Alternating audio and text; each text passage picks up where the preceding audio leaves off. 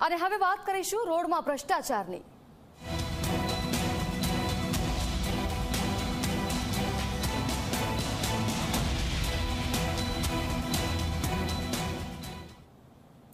વડોદરામાં અટલ બ્રિજ બાદ રોડમાં કૌભાંડનો મોટો ખુલાસો થયો છે.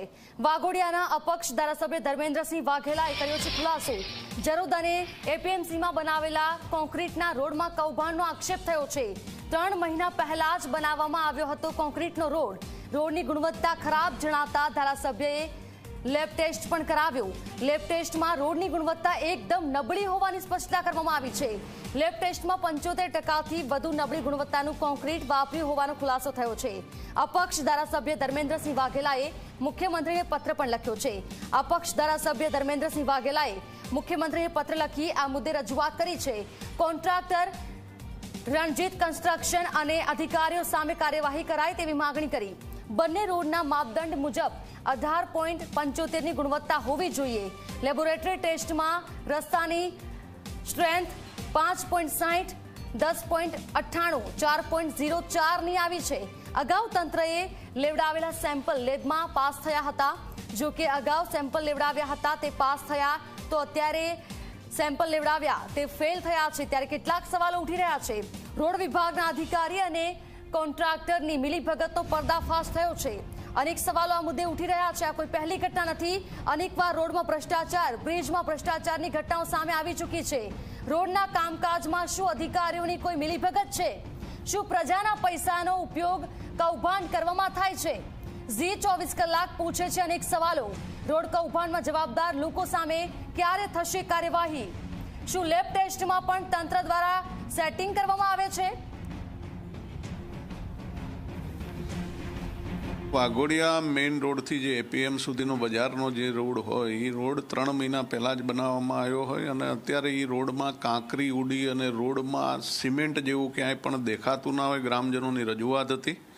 એ રજૂઆતના આધારે હું સ્થળ ઉપર ચકાસણી કરવા ગયો અને મને પણ એવું લાગ્યું કે ખરેખર આ રોડની અંદર ખૂબ મોટો ભ્રષ્ટાચાર થયો છે.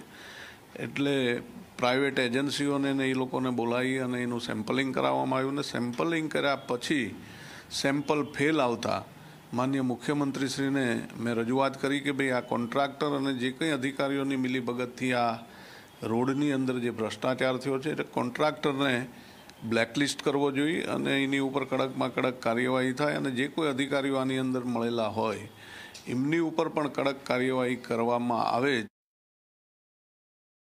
ઘણા બધા રોડ એવા છે. હું તમને એક રણોલીનો જ દાખલો આપું. રણોલીવાળો રોડ પણ ઇલેક્શન પહેલાં જ બનાવવામાં આવ્યો છે. જે હાઈવેથી બ્રિજ સુધીનો જે રોડ છે એ રોડ આરસીસી બનાવવામાં આવ્યો છે. ત્રણ મહિના પહેલાં જ આ રોડ થયો અને તમે અત્યારે જશો બરોડાથી તમારે રણોલી તરફ જવું હોય તો એ એક બાજુનો આખો રોડ એની ઉપરથી સિમેન્ટ ઉખડી ગયેલી અને કાંકરીઓ અત્યારે ઉડે છે. એટલે મારે આપ શ્રી પત્રકાર મિત્રોને જણાવવું છે કે ભાઈ, આપ પણ ત્યાં જાઓ અને વિઝિટ કરો અને લાઈવ કરો અને લોકો સુધી પહોંચાડો, જેથી કરીને આવા અધિકારી અને કોન્ટ્રાક્ટરોની આંખો ખુલે અને ક્વોલિટી વર્ક સચવાય એવી મારી માગણી. વડોદરામાં જરોદ અને એપીએમસીના રોડમાં ભ્રષ્ટાચાર મામલે ઝી ચોવીસ કલાકની ટીમે એપીએમસી રોડનું કર્યું રિયાલિટી ચેક ત્રણ મહિનામાં જ રોડની અંદર પાથરેલી કપચી બહાર આવી ગઈ છે. હલકી ગુણવત્તાનો સિમેન્ટ વપરાયો હોવાનો સ્થાનિકોએ આક્ષેપ પણ કર્યો છે. અધિકારીઓએ રોડ બનતો હતો ત્યારે કોઈ ધ્યાન નથી આપ્યું તેવું પણ કહેવામાં આવ્યું છે. નવો રોડ બનાવી આપવા માટે સ્થાનિક લોકોએ માગણી કરી છે. મહત્વનું છે કે વાઘોડિયાના પક્ષ ધારાસભ્ય ધર્મેન્દ્રસિંહ વાઘેલાએ જરોદ અને એપીએમસીના રોડમાં થયેલા ભ્રષ્ટાચારને ખુલ્લો પાડ્યો છે.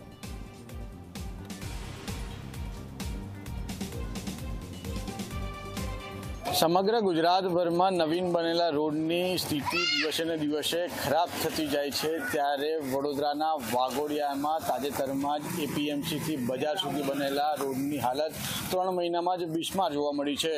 બિલકુલ આ એપીએમસીથી બજારનો સીધો રસ્તો છે કે જ્યાં ત્રણ મહિના થયા છે ત્યાં હજુ સીસી રોડની જે અંદર મટીરિયલ વાપરવામાં આવ્યું હતું, કપચી સહિતની જે ચીજવસ્તુઓ છે એ બહાર દેખાઈ આવે છે. કરોડો રૂપિયાના ખર્ચે નવીન રોડ બનેલો હતો. આ જ- કારણ કે તાજે છેલ્લા ઘણા સમયથી બિસ્માર રોડ હતો, જેને લઈને ગ્રામ પંચાયત તેમજ ધારાસભ્યની ભલામણથી આ રોડ બનાવવામાં આવ્યો હતો. પરંતુ ક્યાંક ને ક્યાંક જે કોન્ટ્રાક્ટર અને જે અધિકારીઓ છે, તેની મિલીજુલી સરકારથી આ દ્રશ્યો નિર્માણ થાય છે. કારણ કે રોડની સાઈડ પણ છે. જુઓ તમે કે ત્રણ મહિનામાં જ બિસ્માર થઈ ગઈ છે. કારણ કે એવા મોટા વાહનો પણ આ રોડ પરથી પસાર નથી થતા. હજુ ચોમાસાને પણ બે મહિના સુધીની વાત છે. છતાં પણ આ જે આ રોડ છે. બિસ્માર હાલતમાં છે કારણ કે ક્યાંક ને ક્યાંક ધારાસભ્ય જે ધર્મેન્દ્રસિંહ વાઘેલા છે, તેને પણ આ રોડ ઉપર સવાલો ઊભા કર્યા છે. સાથે સાથે લેબ ટેસ્ટિંગ કરાવ્યું છે, જેમાં મહત્વની વિગતો બહાર આવી છે. પંચોતેર ટકા જેટલું જે મટીરિયલ છે, એ ખોટું વાપરવામાં, હલકી ગુણવત્તાનું વાપરવામાં આવ્યું છે તેવું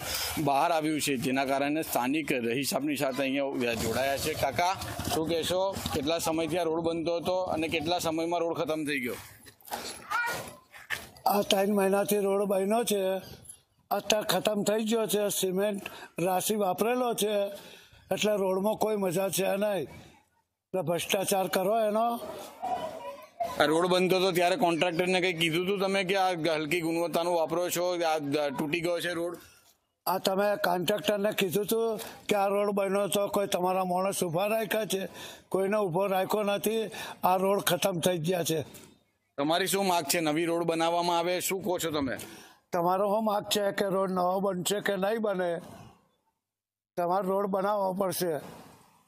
બિલકુલ આ સ્થાનિક રહીશ છે કે તેઓનું સ્પષ્ટપણે માનવું છે કે આ જે રોડ છે, નવો બનાવવામાં આવે. સાથે સાથે જે અધિકારીઓ છે, તેઓ પર આવી રીતે જે વોરંટી પિરિયડમાં હોય તો નવીન બનાવવામાં આવે. સાથે સાથે તેના ઉપર કાયદેસરની કાર્યવાહી હાથ ધરવામાં આવે. પરંતુ ઝી ચોવીસ કલાકે રિયાલિટી ચેક કર્યું છે. સાથે સાથે અધિકારીઓ છે, તેઓનો સંપર્ક સાધવાનો પ્રયત્ન કર્યો છે. પરંતુ ક્યાંક ને ક્યાંક મિટિંગનું બાનું કાઢીને જે અધિકારીઓ છે, તેઓ ફોન રિસીવ નથી કરતા. સાથે સાથે તેઓ મિટિંગમાં છું, તેઓ જવાબ આપે છે. એટલે કે આ જે ઘટના બની છે તેમાં સ્પષ્ટપણે બહાર આવ્યું છે કે અધિકારી અને આ જે કોન્ટ્રાક્ટર છે તેઓનું મિલીભગત હોવાનું ક્યાંક ને ક્યાંક જે હોઈ શકે છે. પરંતુ હવે આવનારા સમયની અંદર ધર્મેન્દ્રસિંહ વાઘેલા મેદાને પડ્યા છે. સાથે સાથે આ જે રોડ છે એ નવીન બનાવવા માટેની માંગ કરી છે. ત્યારે હવે આગામી સમયની અંદર સરકાર દ્વારા આ કોન્ટ્રાક્ટર છે અને અધિકારીઓ છે તેના ઉપર કયા પ્રકારના પગલાં ભરાય છે તે જોવાનું રહેશે. સહયોગી કેમેરા પર્સન સાથે ચિરાગ જોશી વડોદરા વાગોડિયા